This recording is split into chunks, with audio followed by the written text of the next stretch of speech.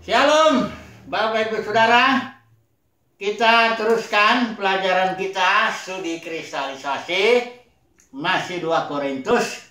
Barangkali ini tema yang terakhir nanti kalau perlu kita ambil satu tema lagi sebagai ya katakanlah kesimpulannya ya.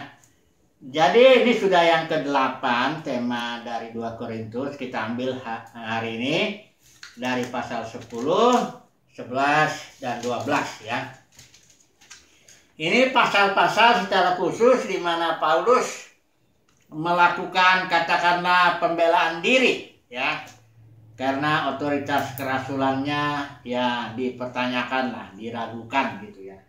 Mengapa demikian? Karena ada di sini rasul-rasul palsu yang mencoba lah ya mengambil keuntungan dari jemaat Korintus ini dan bukan hanya mengambil keuntungan tentu banyak perkataan-perkataan yang nanti kita melihat Paulus dituduh katanya berbuat curang ya. Nanti kita lihat ya. Kita akan bahas ini tiga poin aja yaitu yang pertama mengenai peperangan rohani yang kedua mengenai rasul palsu ini yang memberikan memberitakan Yesus yang lain, roh yang lain, Injil yang lain, ya.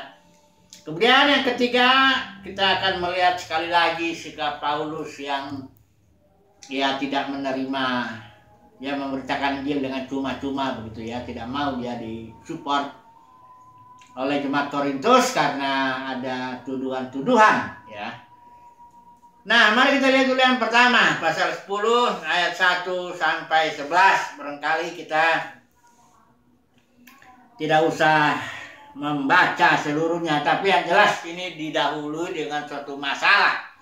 Yaitu ada seorang menuduh Paulus bilang begini, bahwa dia hanya berani bila apa eh tidak berani kalau berhadapan muka, tapi berani terhadap jemaat itu kalau berjauhan ya. Ada juga tuduhan orang-orang tertentu menyangka bahwa kami kata Paulus hidup secara duniawi ya. Nah dalam bagian ini Paulus membela dirinya. Kita harus ingat dulu ya. Paulus membela diri bukan dalam konteks uh, menjaga harga dirinya ya atau menjaga apa ya menjaga mukanya atau ya enggak ini ini bukan kepentingan Paulus. Paulus menjaga uh, membela diri demi kebenaran Injil. Karena Injilnya inilah yang yang Paulus beritakan ya. Dia nggak beritakan dirinya ya dia sudah mengakui di dalam surat Korintus ini. Yang diberitakan adalah Yesus Kristus sebagai Tuhan. Tapi kalau uh, dia di, di, di, di, diserang gitu dan membuat kebenaran Injil jadi diragukan ya dia harus bela dirinya ya. Dalam rangka menegakkan kebenaran Injil itu ya. Nah di sini dia dibilang bahwa dituduh lah ya. Orang-orang tertentu ada yang menyangka bahwa Paulus hidup secara duniawi ya. Berjuang juga secara duniawi ya. Nah Paulus bilang kami sekalipun hidup di dalam dunia, kami tidak berjuang secara duniawi ayat 4. Karena senjata kami dalam perjuangan bukanlah senjata duniawi, melainkan senjata yang diperlengkapi dengan kuasa Allah yang sanggup untuk meruntuhkan benteng-benteng. Nah, jadi Paulus di sini dalam perjuangannya dalam pemberitaan Injil itu dia tidak menggunakan cara-cara kekuatan manusiawi lah ya barangkali kekuatan-kekuatan politik kalau memang ada itu kekuatan-kekuatan apa pun juga ya. Karena waktu itu ketika Injil diterima oleh Konstantin tahun 313 banyak orang jadi mau menerima Injil. Ya itu karena ada kekuatan politik. Kalau orang Roma itu memberikan apa ya kemudahan-kemudahan lah kepada orang-orang yang yang yang Kristen tentunya. Karena agama Kristen sudah dijadikan agama negara pada waktu itu. Jadi ada kekuatan politik di situ yang membuat orang menjadi Kristen. Tapi justru akhirnya banyak yang jadi gereja jadi nggak benar ya. Kemasukan orang-orang yang nggak sungguh-sungguh percaya. Jadi sini Paulus bilang, saya memberitakan Injil bukan dengan kekuatan-kekuatan manusiawi, senjata-senjata manusiawi seperti itu. Dia bersandar kepada kekuatan Elohim, ya kuasa Elohim sanggup meruntuhkan benteng-benteng ya. Nah, benteng-benteng ini apa? Dikatakan di sini ayat 5. Kain mengatakan siasat orang merubuhkan setiap kubu yang dibangun. Ini benteng-benteng yang dibangun oleh keangkuhan manusia untuk menentang pengenalan akan Allah. Jadi bentengnya itu suatu pertahanan yang dibuat oleh manusia kedagingan itu untuk menentang pengenalan akan Tuhan. Jadi ini memang pemberitaan Injil itu bagi Paulus adalah suatu peperangan ya. Karena dia tidak bersandar kepada cara-cara manusiawi atau apa. Dan Paulus jelas mengatakan dia peperangan itu terjadi di pikiran. Paulus bilang begini, kami menawan segala pikiran dan menaklukkannya kepada Kristus. Jadi memang dalam pemberitaan Injil Paulus itu, walaupun memang benar tentu ya disertai kuasa Tuhan, kuasa Allah, tapi dia berusaha menghancurkan benteng-benteng yang dibangun itu dan itu ada di pikiran. Ya pikiran-pikiran yang menentang. Misalnya firman Tuhan bilang, carilah dahulu kerajaan sorga dan kebenarannya. Maka semuanya akan ditambahkan kepadamu. Nanti ada pikiran orang ini. Ya kan kita masih hidup di dunia, gimana sih cari Tuhan dulu? Ya cari hidup dulu lah. Cari makan minum dulu lah, begini, begitu lah. Ini tentang ini. Ini pikiran benteng yang dibangun oleh keangkuhan manusia menentang pengenalan akan Tuhan. Firman Tuhan udah bilang cari dahulu kerajaan sorga, dia bilang. Ya kita lihat dulu dong situasinya begini, begini. Ini manusia ini begitu kan? Kalau dikasih tahu firman Tuhan, dia langsung bilang. Ya, langsung dia apa ya ber, beralasan ya. Pikiran ini, pikiran ini memang pikiran yang beralasan ya kayak Adam itu ya ditanya, "Cah, kenapa kau makan buah ini?" Itu perempuan katanya. Perempuan ditanya, "Loh, kenapa kamu makan?" "Ini ular," katanya. Emang manusia itu otaknya itu otak apa ya? Selain otak beralasan, otak tentang firman Tuhan, otak yang apa ya? Nih kuning enggak lurus lah ya. Nah, ini yang Paulus lawan. Pemberitaan ini yang apa? Pemberitaan yang yang yang merubuhkan ya. Pikiran-pikiran yang apa benteng-benteng yang dibangun oleh keangkuhan manusia menentang pengenalan akan Tuhan yang ada di pikiran manusia itu manusia kedagingan itu. Ini peperangan bagi Paulus ya. Oke ini yang pertama ya. Yang kedua kita langsung masuk aja. Hmm, permasalahannya ada di pasal 14 ini ayat 4 ya Poin kedua di sini, kenapa Paulus dari harus membela diri? Nanti kita lihat ya bagaimana dia membela dirinya, membela otoritas kerasulannya demi menegakkan kebenaran Injil. Poin kedua ini adalah pasal 11 ayat 4. Di sini begini. Inilah masalahnya. Sebab kamu sabar saja jika ada seorang datang memberitakan Yesus yang lain daripada yang telah kami beritakan. Atau memberikan kepada kamu roh yang lain daripada yang telah kamu terima atau Injil yang lain daripada yang telah kamu terima. Jadi di sini jemaat Korintus ada katakanlah ini kesabaran yang yang salah gitu loh. Ya, Paulus sudah jelas beritakan yang di bagian lain dia sudah bahas itu. Yang Paulus beritakan adalah Yesus sebagai Tuhan. Penguasa tunggal, ya. Yesus yang berkuasa dan menentukan yang yang yang harus dijadikan Tuhan lah ya. Ya, rencana harus menjadi rencana Yesus, kehendak Yesus harus jadi dalam hidup kita. Ya, semuanya lah ya. Tiba-tiba ada lagi nanti nih Yesus yang lain. Yang bukan Tuhan gitu. Saya memberi contoh ya dalam dunia kekristenan ya. Langsung aja lah contohnya ya dalam dunia kekristenan, saya sering mendengar khotbah yang memberitakan Yesus sebagai pembantu. Kenapa saya bilang begitu? Karena dia bilang begini, engkau punya masalah apa? Engkau mau ingin apa? Yesus baik. Kalau kau ingin bisnismu sukses, Yesus ada menolong sebab dia penuh kasih kira-kira gitu ya. Engkau punya penyakit? Jangan takut Tuhan mengasihi engkau. Yesus bilur-bilurnya menyembuhkan. Itu memang benar sebagian. Betul memang Yesus mengasihi, betul memang Yesus bilur-bilurnya menyembuhkan, tapi itu menjadikan Injil itu mulai dari kebutuhan manusia, tidak memberitakan Yesus Tuhan.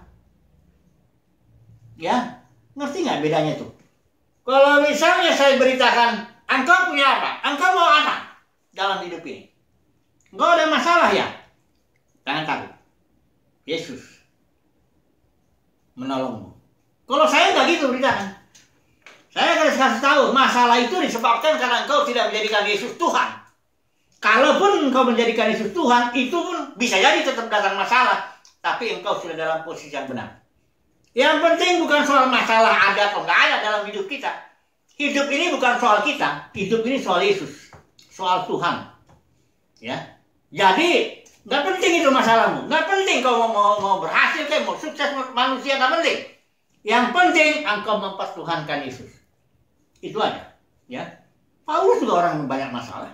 Yesus sendiri banyak masalah. Jadi ini Yesus yang lain banyak dalam dunia kekristenan ini diberitakan. Memang kelihatannya baik itu, ya. Tapi tidak memberitakan Yesus Tuhan, tidak membuat orang berserah, menyerahkan hak atau egonya ke hadapan Yesus. Hidupku bukan aku lagi, ya tapi Kristus dalam aku. Jadi bukan rencanaku, keinginanku, pikiranku, perasaanku, nggak gitu. Tapi kalau banyak pemberitaan itu seolah-olah Yesus menolongmu, nah, ini, ini berbahaya ini kalau yang begini-begini nih. Ya. Yesus menyelamatkanmu, sebenarnya itu benar separuh, bahaya itu. Ya. Ini Yesus yang lain, ini. roh yang lain juga ya. Injil yang lain juga ya. Injil itu kabar baik tentang apa? Kemenangan Kristus, kemenangan Yesus atas kuasa maut. Ya. Jadi fokus pemberitaan Injil itu sebenarnya Injil itu diberitakan untuk siapa? Untuk kemuliaan Tuhan Yesus, bukan untuk kebutuhan manusia dulu. Memang manusia akan akan terkena kebutuhannya. Yesus datang itu tujuannya tiga. Nomor satu, Yesus bilang, aku datang Bapa untuk melakukan kehendakmu. Di dalam taman Getsemani juga dia berdoa, jangan kehendakku Bapak, tapi kehendakmu. Yang kedua, dalam surat Yohanes mengatakan, anak manusia datang untuk menghancurkan pekerjaan setan. Baru yang ketiga, aku datang supaya mereka mempunyai life, hayat. Yohanes 10 10 itu. Manusia itu jadi jangan janganlah mulai dengan kebutuhan manusia lah. Jangan jangan janganlah seolah-olah hidup ini tentang manusia. Enggak, hidup ini bukan tentang manusia. Tentang Yesus yang adalah Tuhan. Itulah hidup itu, ya selama kita menjadikan Yesus itu Tuhan yang menentukan segala-galanya dalam hidup kita, maka segalanya udah baik. Gak peduli hidup kita penuh masalah, nggak gak peduli orang lain mau ngomong apa tentang kita, gak peduli. Yang penting kita menjadikan Yesus itu Tuhan. Ini orang Korintus ini sabar kalau ada orang yang beritakan Yesus yang lain, roh yang lain, Injil yang lain. Makanya Paulus bilang, dia bilang ayat 5, menurut pendapatku sedikit pun aku tidak kurang daripada rasul-rasul yang tidak ada taranya itu. Ini bukan sombong. Bukan sombong Paulus, bukan.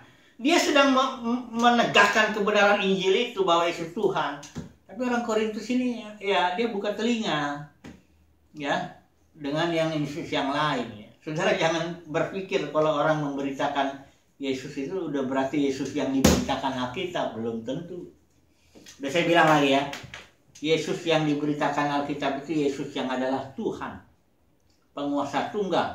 ya Yang akan mengambil alih hidupmu. Rencanamu. Harus singkir semuanya itu.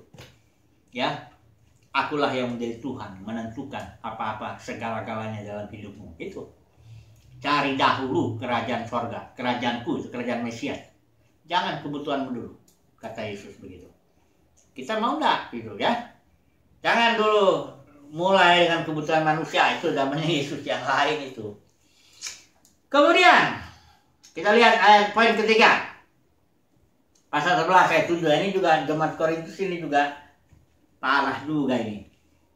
Dia bilang begini, nah, Paulus bilang itu dia. Apakah aku berbuat salah jika aku merendahkan diri untuk meninggikan kamu karena aku memberitakan Injil Allah kepada kamu dengan cuma-cuma. Sekali lagi ya, orang yang memberitakan Injil ya, memang harus hidup dari Injil. Dalam pengertian or, konteks organisme ya, kayak Paulus, dia memang hidup oleh Injil. Sesekali tapi ya, dia mendapat dukungan dari jemaat Filipi dari beberapa saudara-saudara atau kadang-kadang ada orang yang memberikan tumpangan Gaius misalnya atau Paulus dulu mengerjakan pekerjaannya dia sendiri maker ya. Karena Paulus bilang ya mana ada orang berperang dengan biaya sendiri? Nggak ada tapi bukan lain jangan dibawa dengan konteks sekarang. Gereja udah jadi ribuan organisasi dengan dengan sistem gaji. Ah, itu bukan itu itu udah nggak nggak nggak sesuai lagi. Itu udah yang kita bicarakan di sini konteksnya konteks gereja sebagai organisme.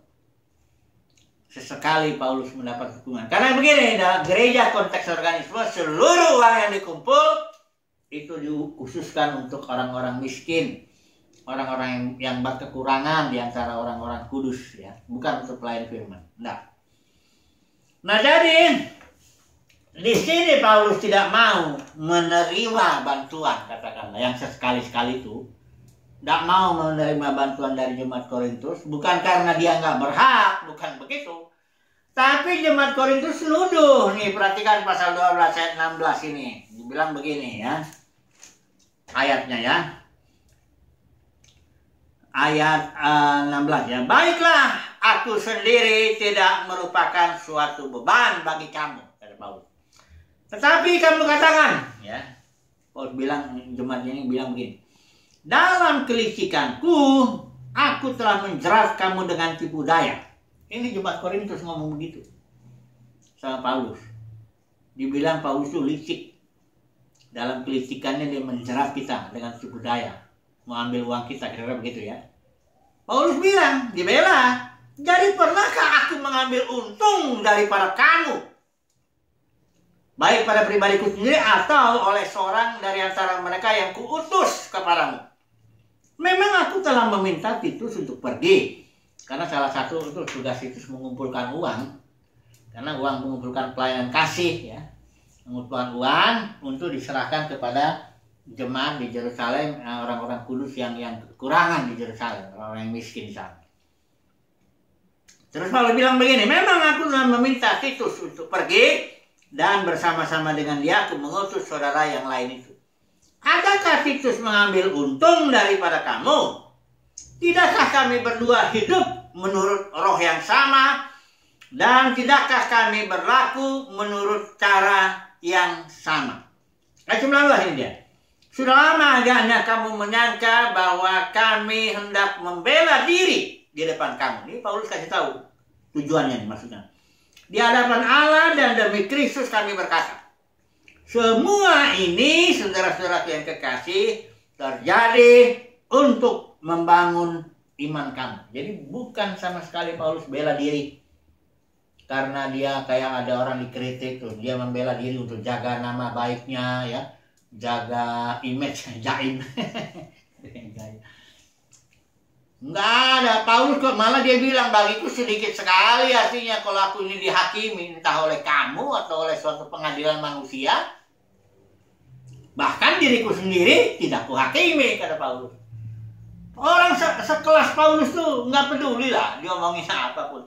Di dalam surat Galatia dia bilang kok, kalau aku berusaha berkenan kepada manusia, aku bukan hamba Kristus. Itu jelas. Jadi dia ini seorang yang beritakan firman Tuhan yang se -se sebenar-benarnya. Hanya kenapa dia bela diri? Karena demi membangun iman ke orang Korintus itu. Demi kebenaran Injil.